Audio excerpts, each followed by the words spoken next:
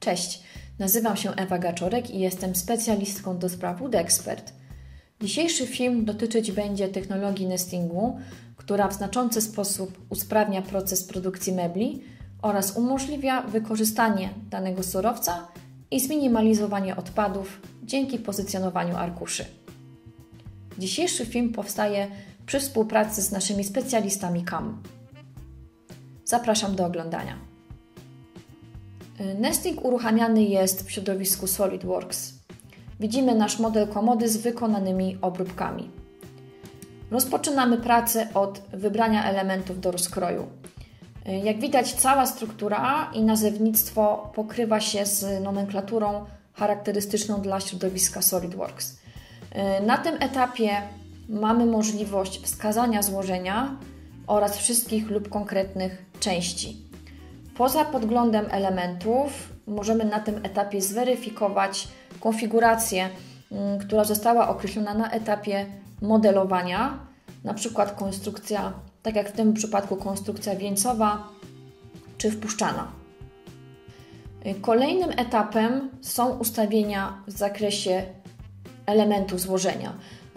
Na tym etapie mamy możliwość weryfikacji Y, grubości oraz wymiarów danego elementu, ilości, kierunku ustawienia strony danego elementu oraz kierunek usłojenia.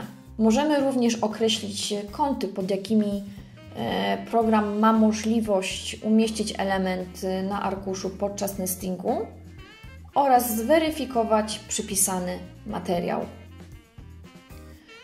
Co ważne, wybranie parametrów na tym etapie determinuje kolejne ustawienia w zakresie arkuszy. Dodając kolejne arkusze, wykorzystując domyślną formatkę 2800 na 2070 mm, zostajemy poinformowani o ilości wymaganych arkuszy. Program weryfikuje to na podstawie grubości elementów i przypisuje wymagane grubości arkuszy.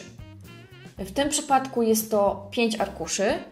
Każdy z nich charakteryzuje się inną grubością wynikającą z parametrów elementów mebla. W ustawieniach nestingu możemy określić odstępy y, formatek od brzegów arkusza oraz typ i maksymalny czas. W przypadku elementów krzywoliniowych byłby on proporcjonalnie dłuższy.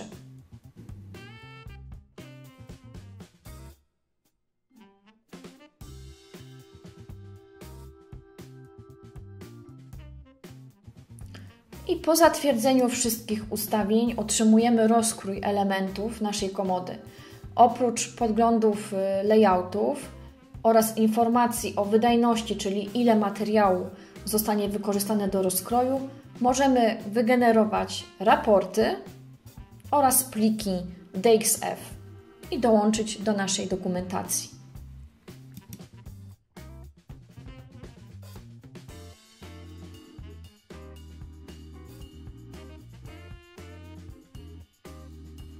Jakie są korzyści dla użytkownika?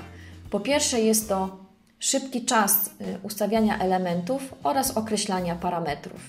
Po drugie, kontrola nad całym procesem produkcyjnym, a tym samym optymalizacja procesu obróbczego.